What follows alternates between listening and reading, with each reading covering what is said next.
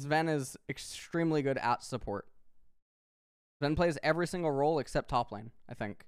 Plays every role but top lane. Sven is very, very, very good at support and he's very good at jungle.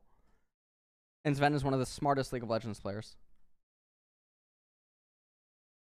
Um, if Summit's statement was not a meme, if he actually is stopping because he didn't make MSI, then Fudge go back top and try to get Nemesis.